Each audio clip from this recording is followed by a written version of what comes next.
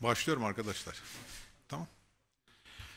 Değerli basın mensupları bugün sizlerle 20 Temmuz'da başlayan sivil darbe sürecinin hız kesmeden devam ettiğini gösteren ve demokrasimiz açısından son derece vahim gördüğümüz iki gelişmeyi paylaşacağım. İlk gelişme dün itibariyle herkes tarafından uygulanması gereken Anayasa Mahkemesi kararında gelinen son noktadır. İstanbul 14. Ağır Ceza Mahkemesi'nden sonra 15. Ağır Ceza Mahkemesi de Anayasa Mahkemesi'nin oy birliğiyle verdiği milletvekilinin hakkının ihlal edildiğine dair kararını tanımamıştır. Anayasa Mahkemesi kararlarına her halükarda uyulması hukuk devletinin anayasal düzenin gereğidir. Anayasa Mahkemesi, Mahkemesi kararlarına uymamak anayasayı ihlaldir anayasayı tayir, tebdil ve ilgaya teşebbüs suçudur. Bu suç Çağlayan Adliyesi'nde muhkim 14. ve 15. ağır ceza mahkemelerinin hakimleri tarafından işlenmiştir. İki mahkemenin birden bu kararı vermesi bu sürecin organize bir şekilde yürütüldüğünü de göstermektedir. Diğer taraftan mahkemelerin uymadığı Anayasa Mahkemesi kararı alt mahkemenin bir milletvekilinin dokunulmazlığını tanımayarak hakkında karar vermesinin hak ihlali olduğunu tespit eden bir karardır. Bunu tanımama kararları anayasanın ve aynı zamanda milletvekilleriyle Türkiye Büyük Millet Meclisi'nin hukukunun da hakimler tarafından ihlalidir. Bu hem anayasaya hem de milli iradeye ve millet, millet iradesinin tecelli ettiği Türkiye Büyük Millet Meclisi'ne karşı darbe teşebbüsüdür. 15 Temmuz'da Gazi Meclis'e bomba atan hainlerin teşebbüsünden farklı değildir.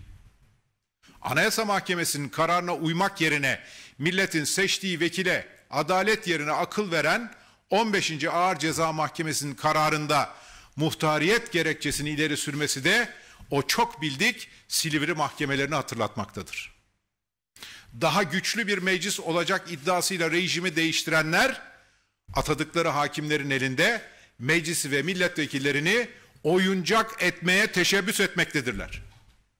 Bu yaşadıklarımız 20 Temmuz sivil darbesinin faillerinin yandaş hakimleri tetikçi olarak kullandıklarını düşündürmektedir. Anayasa Mahkemesi kararları bağlayıcıdır diyen Adalet Bakanı Gül.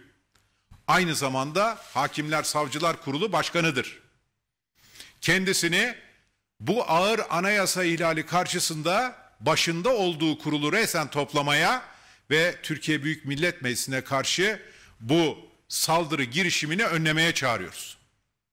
Türkiye Büyük Millet Meclisi Başkanı Sayın Şentop, bu karara gerek anayasa gerekse anayasa mahkemesinin kuruluşu ve yargılama usulleri hakkında kanuna göre muhatapların uyması gerekir. Bence ilgili mahkeme hangi mahkeme ilgili ise muhatap ise bu karara uymalıdır diyor. İlgili mahkemeler Anayasa Mahkemesi'nin kararına uymuyor. Karar milletvekili dokunulmaz, dokunulmazlığı ile ilgili. Milletin meclisinin sizin de başkanı olduğunuz milletin meclisinin hukukuyla ilgili. Bu mesele partiler üstü ele alınmalıdır.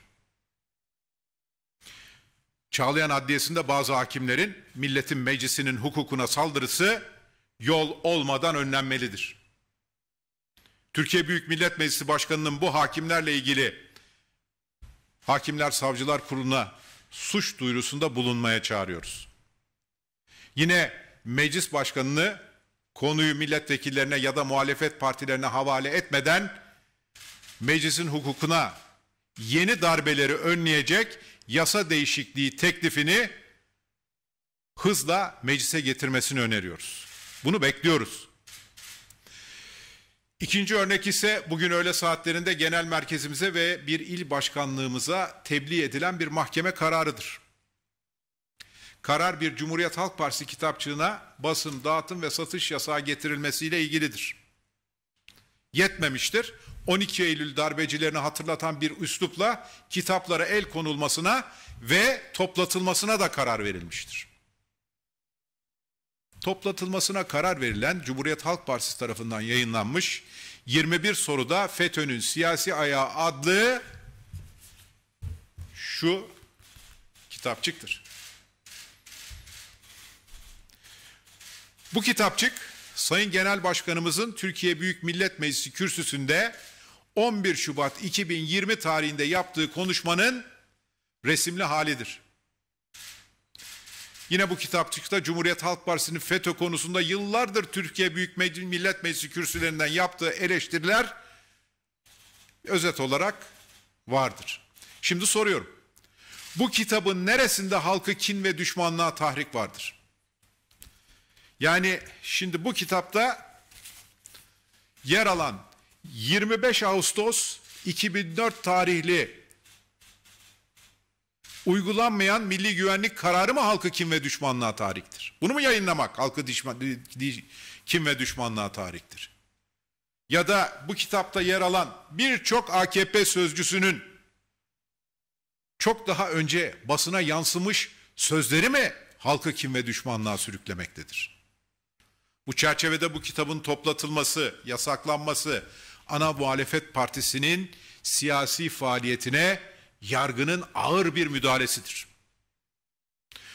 Bir ülkede demokrasi yoksa, hukukun üstünlüğü yoksa, vatandaşın can ve mal güvenliği de olmaz. Milletin tenceresi dolmaz, karnı doymaz. Ülkemizin uluslararası itibarı olmaz, dünyada sözü dinlenmez. Artık milletimiz yaptıklarınızı görüyor. Söylediklerinizi duyuyor. Sabırsızlıkla önüne gelmesini beklediği ilk sandıkta biletinizi kesecek. Yerinizi gösterecek, evlerinize gönderecek. Teşekkür ediyorum.